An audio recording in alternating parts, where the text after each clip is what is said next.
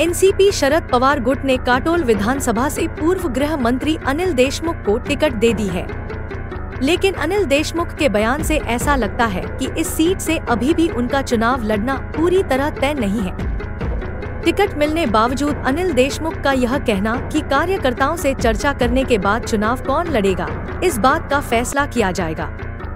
उनका यह बयान यह सवाल पैदा करता है कि क्या अनिल देशमुख अपने बेटे सलिल देशमुख का राजनीतिक करियर संवारने के लिए उन्हें काटोल से चुनाव मैदान में उतारने की तैयारी में तो नहीं है। सलिल देशमुख को उम्मीदवार बनाने की बात पर अनिल देशमुख ने कहा कि अंतिम निर्णय वरिष्ठों और कार्यकर्ताओं से राय लेने के बाद ही किया जाएगा कि काटोल अनिल देशमुख या सलिल देशमुख कौन चुनाव लड़ेगा।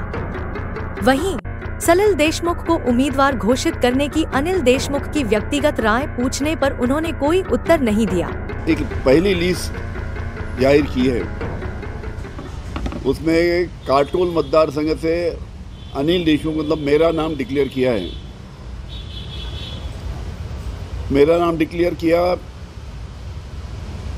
हम एक दो दिन में हमारे सभी पार्टी के जो कार्यकर्ता हैं उनसे भी चर्चा हम करने वाले और पार्टी से चर्चा करके अनिल देशमुख चुनाव लड़ेंगे या सलील देशमुख चुनाव लड़ेंगे, इसका अंतिम निर्णय हम दो दिन में करेंगे।